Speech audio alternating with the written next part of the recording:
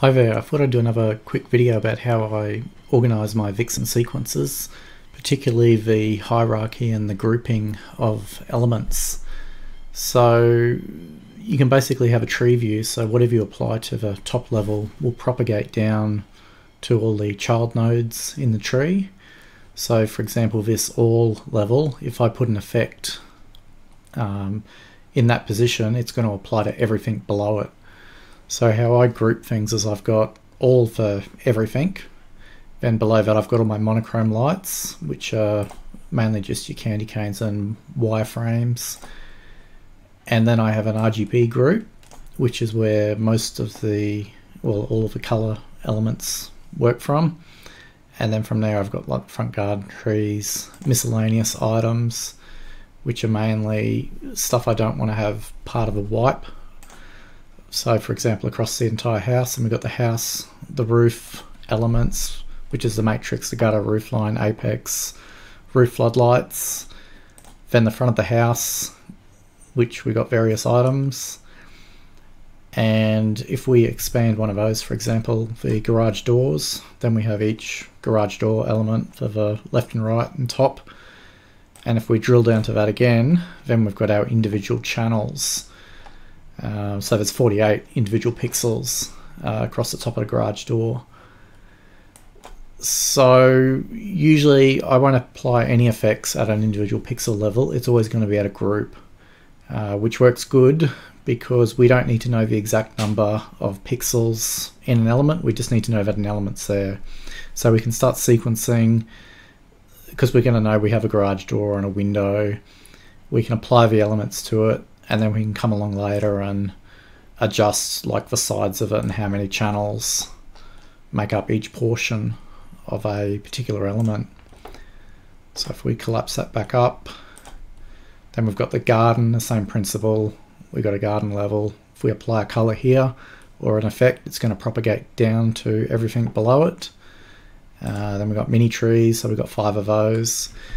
Now keep in mind too, if we scroll across, uh, probably this wasn't a good sequence. We'll go to the house level. Uh, okay, here for example we've got a uh, wipe effect. When that's at a particular level, that effect is then going to propagate to everything below it, as well as the color. So we're getting a red plus a uh, white highlight which is chased over it. Uh, so that's something to keep in mind when you're designing a layout. Uh, if you want to see this sequence, look at the Lego um, 2015 video. I won't play it from here so it doesn't trigger the music copyright. So if we scroll down,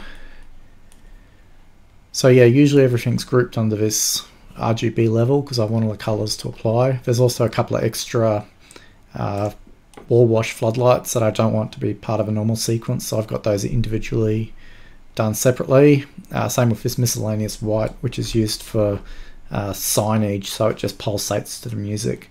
But again, if I'm doing a sequence to change color or do an entire house wide or display wide wipe effect like we got here, I don't want those uh, particular channels affected. So last year we just had these four channels set up. If this year I decide I need another white channel, I can come along and then add another node in here within the display editor and it requires no resequencing because it's going by what's on this level. So as soon as I re-render the sequence and export it using the PyPlayer export, it's going to recalculate that I'll have another channel added in there need if need be. Um, the other thing we got is the dump track. That's basically when I'm copying and pasting around. If I need to uh, temporarily shift it out the way while I'm reorganizing something, it usually ends up there. Like we've got these couple of pulses. They obviously didn't make the cut. That's uh, just a logical channel. It's not mapped to any controller.